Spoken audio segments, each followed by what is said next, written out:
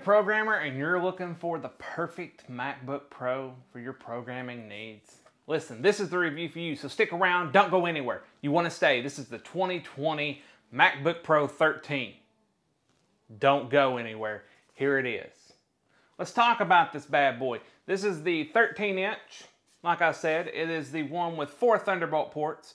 So it's double the others uh, that have two. This comes in currently at 17.99 US dollars. It features a 2 gigahertz quad core i5 10th gen uh, with hyper threading. It does boost above the 2 point, the 2 gigahertz. It's like 3 something. Uh, it features 16 gigs of DDR4 it's special. It's LP DDR4X at 3733 megahertz. It has a 512 gig NVMe SSD as well as, you know, a True Tone Retina display. So, it's everything you need to get going. And the reason that we're looking at this one versus the uh, entry model MacBook Pro 13 or the other uh, one above it is because this is the one that my company is actually replacing all of our MacBook Pros too. Uh, this is a decision that I made for my company to go to this one, and we're going to talk about why. So, I get asked all the time, Jeff, what, which MacBook Pro should I buy? Should I get a MacBook Air? Should I get a 15 inch? Should I get a 13 inch? Is there a Windows machine that I should get? And my answer is always, well, what are you doing? Uh, it really depends. You know, we talk a lot here on the channel about having the right tool for the job, getting the right tool that's in your toolbox. So, this is, in my opinion, the right tool for an app developer, whether that's Xcode, uh, which is iOS, or Android, uh, React Native, you know, web apps, whatever, have it. This is my, my choice for that. So let's talk about it.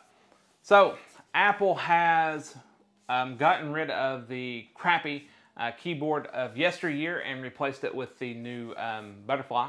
So it goes from the, the scissor switch or whatever to the butterfly switch. Maybe it's vice versa, I don't care.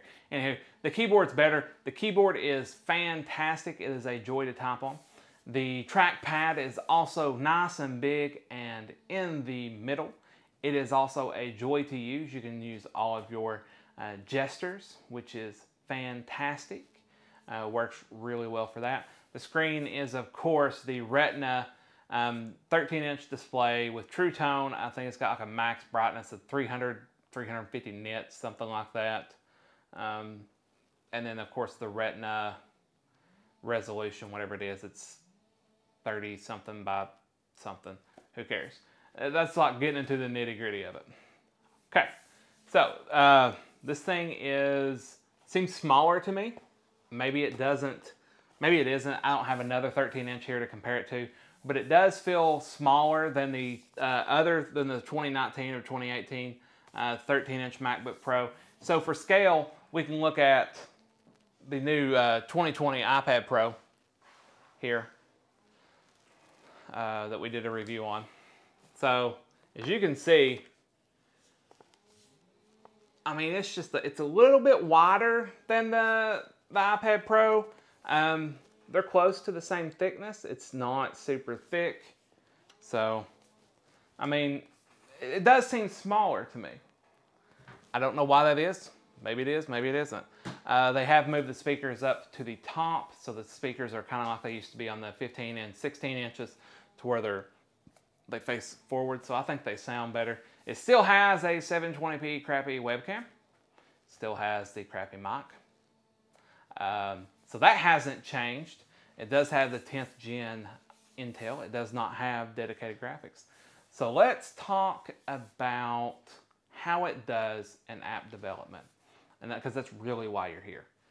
So when working with, with Xcode, for example, um, running an iPhone 11 Pro Max, quadruple XS, whatever it is, uh, it does really well. And so it wasn't laggy at all. Everything was very snappy.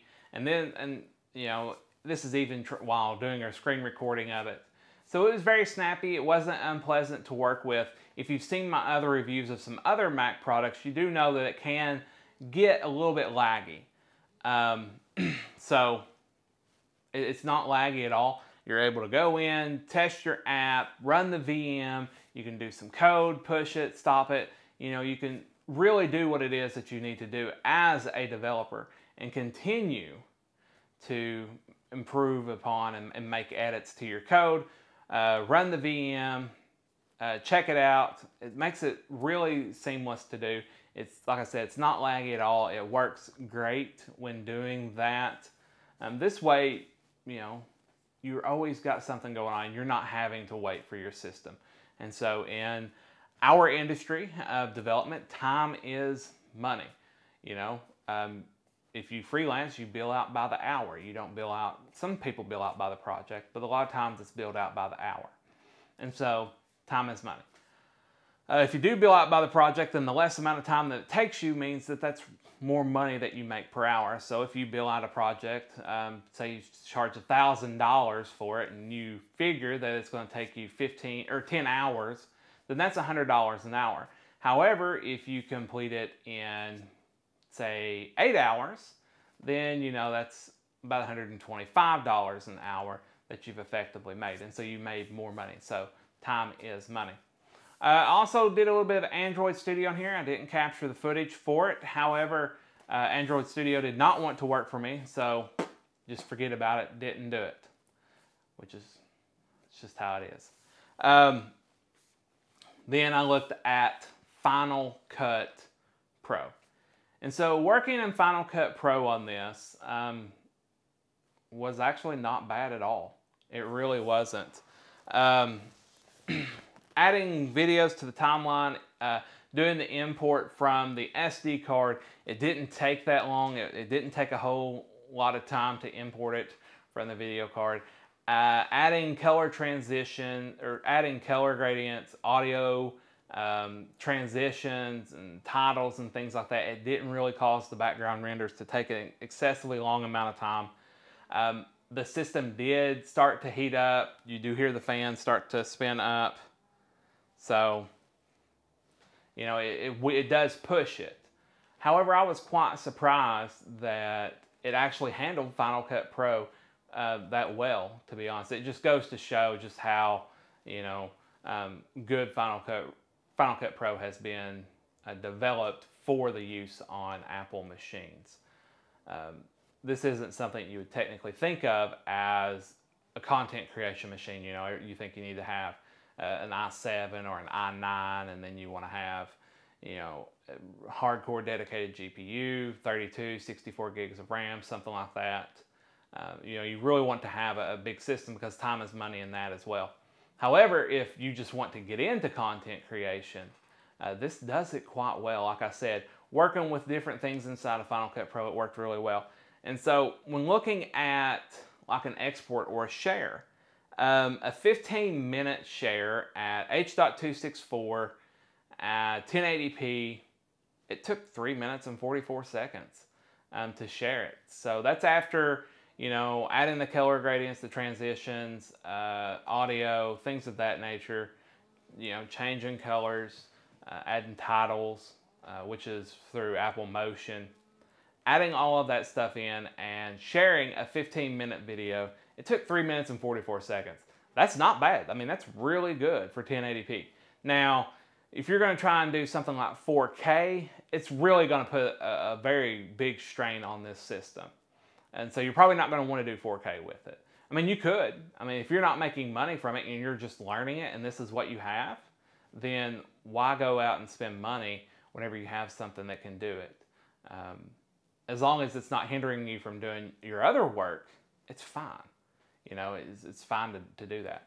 Um, and so it does really well for that. It does really well for that. And so let's let's wrap this up a little bit. We'll start and we'll go into this conclusion. Um, I, you may not know this, but I'm a director of IT, and so I'm in charge of the devices that we use uh, at the software company that I that I work for. And currently, we are using 2017 uh, MacBook Pros with the four Thunderbolt ports. And the reason I keep specifying is because there is a difference between the two and the four uh, as far as Thunderbolt ports go. And so we are noticing that our machines, even though they're 2017s, um, are getting they're getting old in this space, trying to to do what we do and do it effectively and efficiently. And so after you know trying out some MacBook Airs, MacBook Pros, the 13 and the 16, this is the one that we landed on for our app development purposes. And the reason for that is because it does it has that quad core 8 thread i5.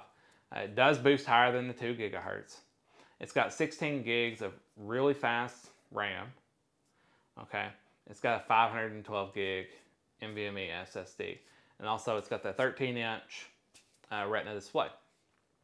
And even though that's not what we're going to code off of, you know, we do we can use dongles. So it's got the four Thunderbolt ports, which is great uh, in case you need to add dongles or you need to add, hook a device to it. Um, like if we're testing, you know, there's devices that we have to hook to our, our machines etc. So it gives that extra expansion, uh, which is really required to do our job and do it well. And so after trying out all these machines, we landed on this, and like I said, because it is, in my mind, the sweet spot.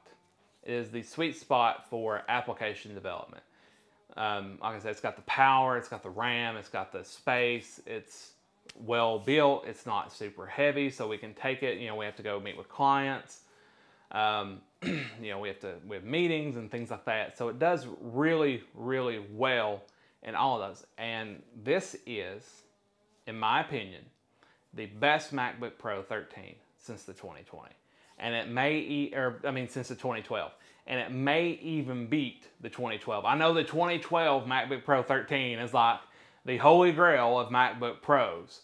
However, I do believe that this is the best MacBook Pro that Apple has put out since, and even including, the 2012 MacBook Pro 13 with Retina display. Um, it's fantastic. It's great typing experience, great trackpad.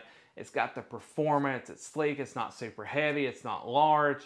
It's got, you know, the expansion.